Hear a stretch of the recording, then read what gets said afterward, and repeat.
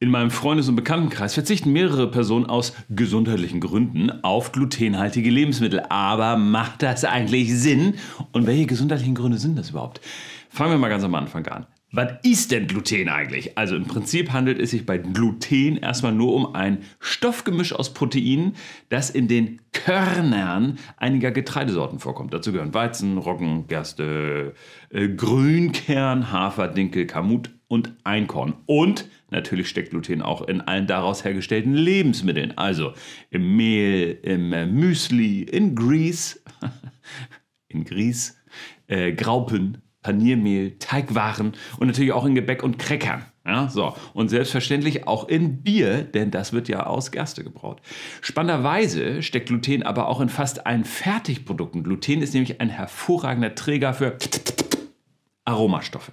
Außerdem geliert es. Ja? Wollen wir kurz weggelieren.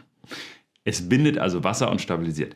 Gluten sorgt außerdem dafür, dass äh, beim Backen alles schön klebt, ja, in Form bleibt und eine schöne Kruste bekommt. Hm. Darum äh, kennst du es vielleicht auch unter dem Namen Klebereiweiß. naja, also ein tolles Zeug also, äh, vor allem aus Sicht der Lebensmittelindustrie. Aber kommen wir zurück äh, zur Ausgangsfrage. Macht es Sinn, Gluten konsequent aus dem Weg zu gehen?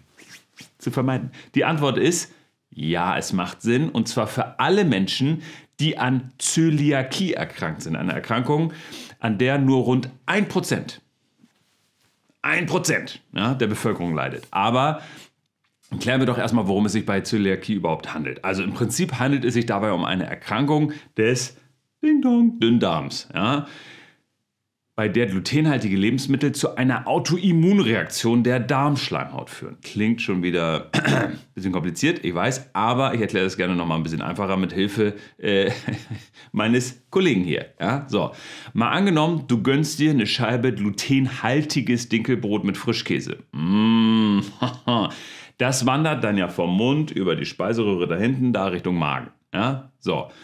Und dann in den Zwölffingerdarm und dann hier in das ganze Dünndarmgekröse. Bei einem gesunden Menschen wird das Gluten hier aus dem Speisebrei.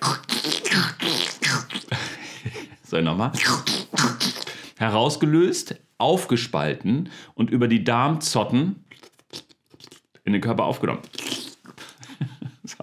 Die Darmzotten kann man sich wie so kleine Falten und Finger in der Schleimhaut vorstellen, die dafür zuständig sind, die Nährstoffe aus der Nahrung in den Körper aufzunehmen. Ich habe ein bisschen zu viel Gluten heute schon gehabt. So, also, wenn äh, man dann aber eine Zöliakie hat, funktioniert das nicht mehr richtig. Statt das Gluten aufzunehmen, denkt der Körper dann nämlich Alarm im Darm. Ja?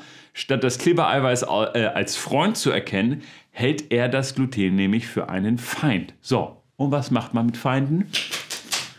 Richtig, man sieht zu, dass man sie wieder los wird. Es kommt also zu einer Abwehrreaktion. Die Zotten in der Schleimhaut entzünden sich, gehen ein und bilden sich zurück. Durch die Zöliakie verringert sich also äh, nach und nach die Oberfläche des Dünndarms und es gelangen immer weniger Nährstoffe in den Organismus, also dein Körper.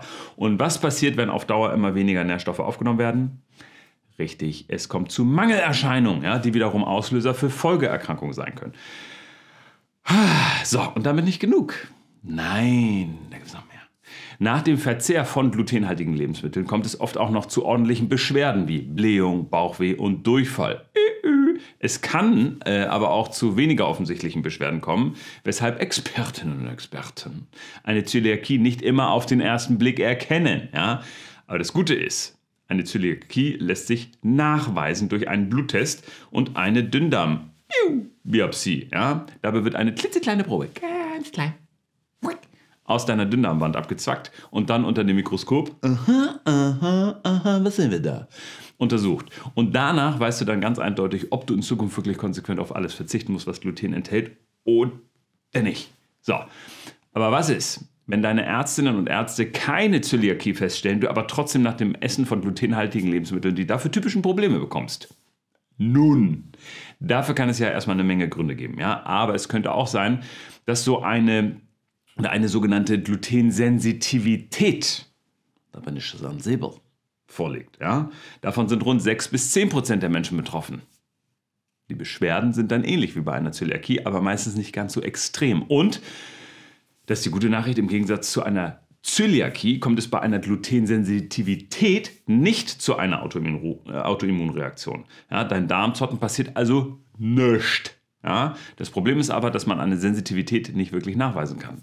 In Absprache mit deinem Arzt oder deiner Ärztin könntest du zwar versuchsweise auf glutenhaltige Kost verzichten, zum Beispiel für einen Zeitraum von so zwei Wochen, und schauen, ob sich deine Probleme damit erledigen. Aber es könnte trotzdem Sinn machen, noch einmal ganz gezielt nach anderen Ursachen zu suchen. Ja? So, wenn es um Unverträglichkeiten geht, haben äh, wir es eben äh, leider oft mit einer richtigen äh, Detektivarbeit Sherlock Holmes äh, zu tun, ja? bei der man erstmal ein paar Sachen ausschließen muss. Aber noch einmal, mach das bitte alles nicht auf eigene Faust, sondern in Absprache mit einem Profi, Arzt oder Ärztin. Ja? Sonst verzichtest du am Ende nämlich vollkommen umsonst auf all die leckeren Lebensmittel, die Gluten enthalten. Ja? Und das wäre ja irgendwie auch schade, oder nicht? Und das gilt natürlich auch äh, für alle anderen Dinge, auf die so viele Menschen freiwillig verzichten, weil sie glauben, sich damit was Gutes zu tun. So, ich esse jetzt erstmal hier gleich das leckere Dinkelbrot. Ne? Das ist nämlich wirklich lecker, lecker, lecker. Äh, und zu lecker, um darauf zu verzichten. Und falls du doch noch Fragen hast, sagst, ich habe das jetzt so alles nicht so ganz verstanden. Und was mache ich denn jetzt? wo muss ich denn jetzt hin? Dann rufst du im TK Ärztezentrum an und sagst, Hallo, ich habe äh, vielleicht Zöliakie und äh, braucht da mal Hilfe. Und dann sagen die, zurücklehnen, wir machen das schon, wir helfen dir.